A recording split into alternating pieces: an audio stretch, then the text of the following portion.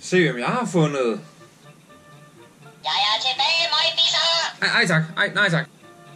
Hej og velkommen til nummer 21. Denne t-shirt er 100% baumwolle. Ja, så den er lavet af 100% Mmm, baumwolle. Baumwolle. Jeg har tit tænkt på, at her er et klip af mig, der danser øh, i Grønland. Bip, bip, bip, bip, bip, bip, bip, bip, bip. Selv tak. Vi skraber, og hvis du også sidder og skraber og fryser, så er nok fordi du er nøgen. Så kan du jo, øh, for eksempel, jeg har lige, øh, fucking mange endnu faktisk. Jeg, jeg, jeg har rigtig, rigtig, rigtig, rigtig mange t-shirts endnu. Men I kan lige, I kan lige nå at købe en, en, øh, en jul. I kan lige nå det i dag. Hvis I bestiller i dag, så kan I lige nå det en jul. Det, det ved jeg faktisk ikke, om I kan. Køb i dag, så kan, kan I muligvis få den en jul. Eller måske efter jul. Der er ingen, der ved det. Og det her kalender, det, det, Det er noget lortebok. Torvald! En pakke. En pakke, der...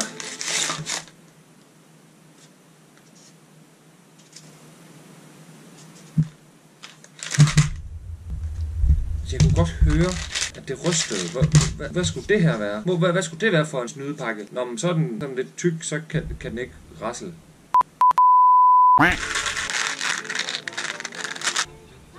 Tak, kone, som er til babysvømning. Jeg tror lige, jeg fik klappet lidt for højt der.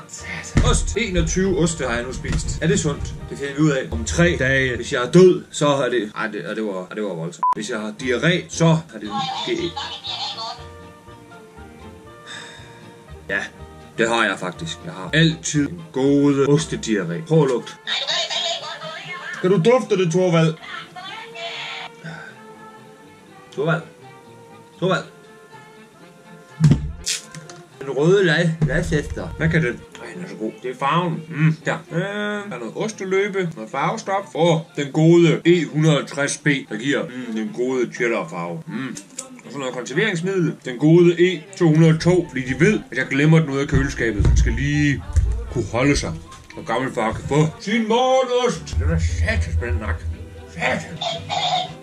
Og så var du der, Torvald. Ved du hvad, så kan du lige, så kan du lige slutte af, mens jeg går ud får det her osteløbe ud af min...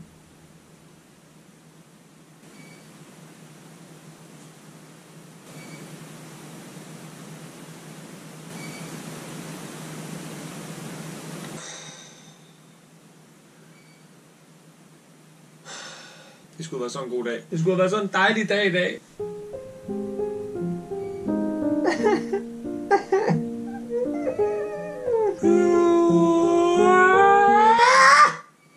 Du af, Torvald. Så går ud og finder en økse og en motorsav, noget strøm, hammer og noget ild. Og så får jeg lige øh, fikset øh, øh, øh, køl. For satan da. Køleskabet.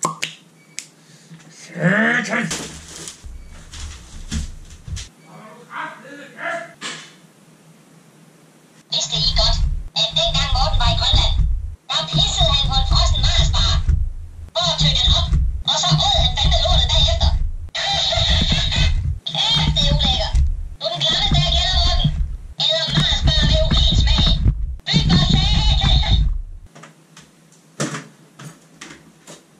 Så.